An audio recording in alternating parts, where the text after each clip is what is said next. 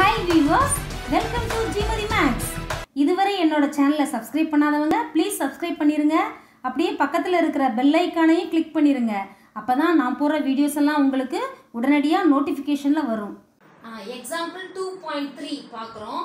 பாருங்க ஒற்றை முழுக்களின் வர்க்கமானது நான்கு கியூ பிளஸ் ஒன் என்ற வடிவில் அமையும் என காட்டு. Q என்பது முழு முழுக்கள் அப்படின்னு சொல்லியிருக்காங்க. Show that the square of an odd integer is of the form 4q plus 1 for some integer q அப்படின்னு சொல்லியிருக்காங்க.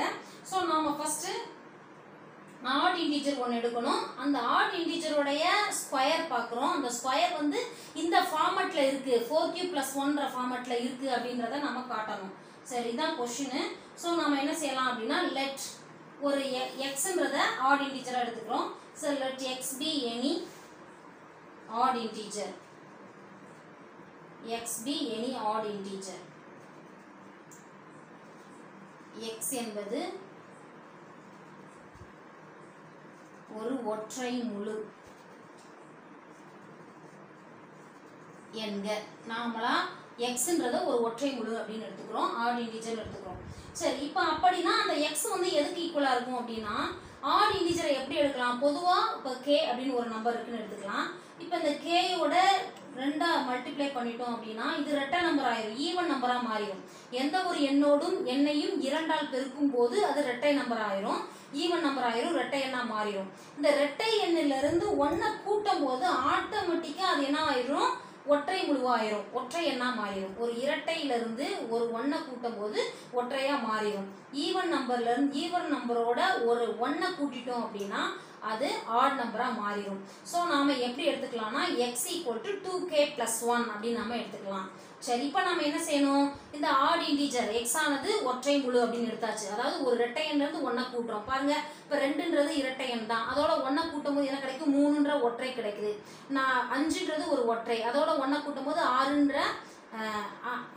ஆறுன்றது ஒரு ரெட்டை ரெட்டையோட ஒன்றை கூட்டும் போது ஏழு அப்படின்ற ஒரு ஒற்றை கிடைக்குது. ஸோ எந்த ஒரு இரட்டை எண்ணோடும் ஒன்றை கூட்டும் போது ஒரு ஒற்றை எண் கிடைக்கும். சரி இப்போ நாம ஒரு இன்டீஜரை எடுத்துக்கிறோம். எக்ஸ் என்பது ஒரு ஆட் இன்டீஜர் அதாவது ஒற்றை முழுவா எடுத்துக்கிறோம். அப்போ ஒரு இரட்டை எண்ணோடு ஒன்றை கூட்டும் போது நமக்கு ஒரு ஒற்றை முழு கிடைக்குது. அதனால x equal to two k plus one அப்படின்னு நம்ம எடுத்துக்கிறோம்.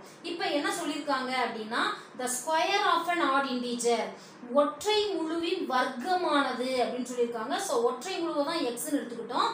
இந்த ஆட் இன்டீஜர் அதுதான் எக்ஸ்னு எடுத்துக்கிட்டோம். That is two k plus one இப்போ இதை நம்ம ஸ்கொயர் பண்ணுறோம் வர்க்கமானது square of an odd integer so இதை நம்ம ஸ்கொயர் பண்ணும்போது இந்த ரிசல்ட்டில் வருதான்னு சொல்லி நம்ம செக் பண்ண போகிறோம் பாருங்கள் அப்போ இதை ஸ்கொயர் பண்ணணும்னா ரெண்டு பக்கமும் ஸ்கொயர் பண்ணணும். இது வந்து ஒரு சமன்பாடு ஈக்குவேஷன் ஸோ இங்கே என்ன கண்டு பண்ணுறோம் எக்ஸ் ஸ்கொயர் ஈக்குவல் டு இடது பக்கம் ஃபுல்லாக ஸ்கொயர் பண்ணுறோம் அடுத்தது வலது பக்கம் முழுசாக ஸ்கொயர் பண்ணுறோம் இப்படி முழுமையாக ஸ்கொயர் பண்ணணும். Two k square plus one square அப்படின்னு எழுதிடக்கூடாது. அது தப்பு. சரி. இப்போ இடது பக்கம் முழுசா வர்க்கப்படுத்திட்டோம். வலது பக்கம் முழுசா வர்க்கப்படுத்திட்டோம். இப்போ நமக்கு இப்படி வர்க்கப்படுத்தும் போது இடது பக்கத்தில் ஒரே ஒரு உறுப்பு தான் இருக்கு. சிங்கிள் உறுப்பு. ஸோ இதை வந்து எக்ஸ் ஸ்கொயர் ஒன்று சேர்த்து அப்படியே வச்சுக்கிறோம். இங்கே என்ன செய்கிறோம் two k plus one the whole square இருக்கு. இது எந்த ஃபார்மெட்டில் இருக்கு? A plus b the whole square ஃபார்மெட்டில் இருக்கு வடிவத்தில் இருக்கு. இப்போ இந்த நமக்கு தெரியும் இதனுடைய விரிவு என்னது? A square plus two a b plus b square அப்படின்னு நமக்கு தெரியும். ஸோ இந்த விரிவுப்படி நாம இதை எழுதுறோம். பாருங்க இந்த டூ கேன்றது என்னது? ஏ இந்த ஒன்றுன்றது நமக்கு பி அப்படின்றது. ஸோ ஏ இருக்கிற இடத்துல இந்த டூ கேயை போடுறோம். அப்போ two k the whole square plus ரெண்டு இன்ட்டு ஏ ஏக்கு பதிலாக டூ கே இன்ட்டு பிக்கு பதிலாக இந்த ஒன்று ஸோ பெருக்கல ப்ராக்கெட்டுக்குள்ளே போட்டுருங்க. Plus b square b is one so one square இதுதான் வந்து இதோட எக்ஸ்பான்ஷன் அப்போ இதை பாருங்க. இந்த square is for two as well as k இந்த ரெண்டு அடுக்கு ரெண்டு வந்து ரெண்டுக்கும் பொருந்தும் கேக்கும் பொருந்தும். ஸோ ரெண்டு ஸ்கொயர் பண்ணால் நான்கு நான்கு கே ஸ்கொயர் ப்ளஸ் ஈரெண்டா நாலு நான்கு கே இன்ட்டு ஒன்று நாலு கே தான். ப்ளஸ் ஒன் ஸ்கொயர் வந்து ஒன்று தான். இப்போ நாம இதை எந்த ஃபார்மேட்டில் எழுதணும்னு சொல்லியிருக்காங்க? எந்த வடிவத்தில் எழுதணும்? ஃபோர் கியூ ப்ளஸ் ஒன் அப்படின்ற ஃபார்மேட்டில் எழுதணும். அப்போ நம்மளுக்கு ஃபோர் கியூ ப்ளஸ் ஒன்னு எழுதணும். இந்த முதல் ரெண்டு இப்போ டேமை பாருங்கள் இந்த ரெண்டு உறுப்பையும் பாருங்க. அதுல எது பொதுவா இருக்கு? நான்கு இருக்கு இங்கேயும் நாலு இருக்கு. இங்கேயும் கே இருக்கு இங்கேயும் கே இருக்கு. கே ஸ்கொயர்னா கே இன்ட்டு கே எழுதலாம் அப்ப நமக்கு என்ன வரும்? நான்கும் பொதுவா இருக்கு கேயும் பொதுவா இருக்கு. ஸோ அதை வெளியில எடுக்கிறோம். இந்த முத ரெண்டு உறுப்புல இருந்து நான்கும் கேயும் பொதுவா வெளியில எடுக்கிறோம். அப்படி வெளியில எடுக்கும் போது இங்க மீதி என்ன இருக்கு? நாலு இன்ட்டு கே இன்ட்டு கேன்னு எழுதலாம் இந்த நக்கே நாலு கே ஸ்கொயரை அப்ப நாலு கேயை வெளியில எடுத்துட்டோம். அப்ப மீதி ஒரு கே மட்டும் இந்த ஃபர்ஸ்ட் டேர்ம்ல இருக்கு.